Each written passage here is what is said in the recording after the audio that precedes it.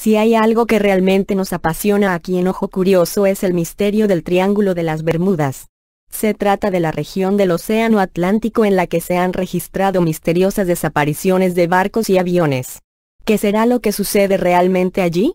Los científicos australianos Joseph Monaghan y David May afirman haber encontrado la explicación del extraño fenómeno del Triángulo de las Bermudas.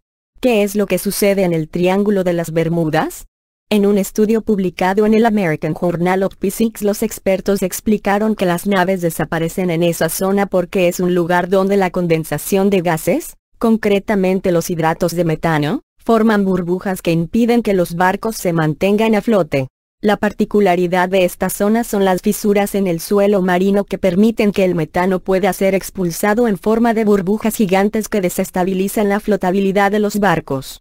Las burbujas de metano se expanden de forma geométrica y cualquier nave que se encuentre en el alcance de una erupción pierde toda estabilidad y es inmediatamente succionada al fondo del océano. Está bien, la explicación parece razonable para los barcos, pero ¿Qué pasa con los aviones en el Triángulo de las Bermudas? Los científicos señalan que si la erupción de metano es lo suficientemente grande y densa, puede alcanzar grandes alturas sobre el nivel del mar, atrapando, por lo tanto, también a los aviones. Las hipótesis de los científicos australianos fueron probadas gracias a experimentos a escala que demostraron que una erupción de gas metano puede hundir un barco, e incluso alcanzar un avión.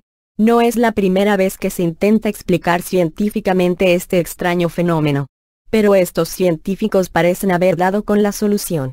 El gas metano se encuentra en todas partes del mundo, y por donde sea que pueda ser expulsado causará una erupción de este tipo.